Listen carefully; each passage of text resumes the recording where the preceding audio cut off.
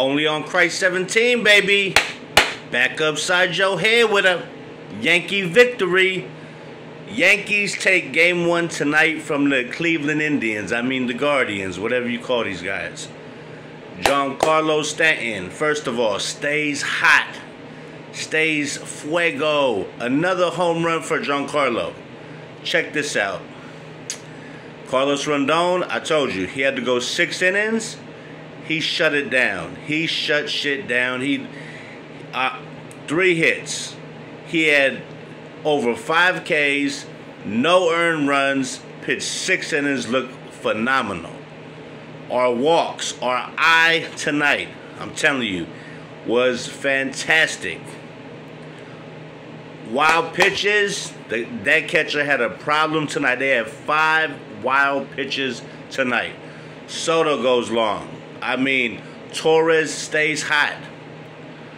I mean, we're looking good. Yankees are looking good. We play again tomorrow. We need Jazz to get his shit together because everybody else is starting to come along. And then, Luke Weaver. Luke fucking Weaver. Five out save. Our bullpen is fantastic. Gave up, you know, two runs, but Luke fucking came in, cool hand Luke, and he shut that shit down. Game two tomorrow. We're gonna see what happens. I think the Yankees are on to something. Five to two is the final. We had two runs right after the home run from Soto. Wow pitches. The the the, the fucking lefty. They bring him in. He was wild as hell. He was throwing shit like this, bouncing it this way, bouncing it that way. He looked like a goalie more than a fucking catcher. So, you know, we just had to do what we had to do. Alex Cobb, we got to him. Soto owns Soto owns Cobb. He's got three career bombs off him, and tonight was no fucking different. He took him long. The wind tried to push it back in, but his pop boom put that shit out. So my Yankees are one game to one game to zero. We got seven more games to win before we're champions again and it's looking pretty fucking good. And if Judge gets his bat and could launch something, and Wells get hot, Verdugo got to do something though. Got to do something. He always fucks up with men on base when he could have busted this shit wide open with a a fucking base hit.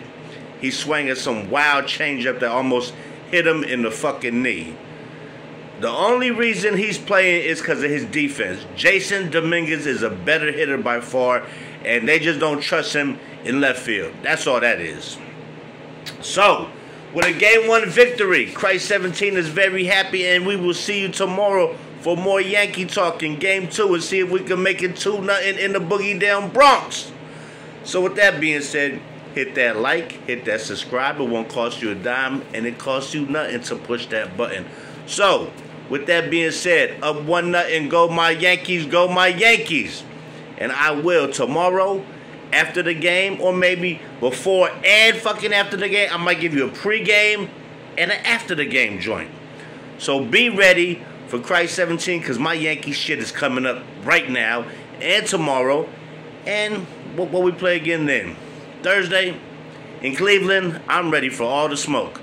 So with that being said, I'm Cryse17 TV, and I will catch you guys on the flip side, player.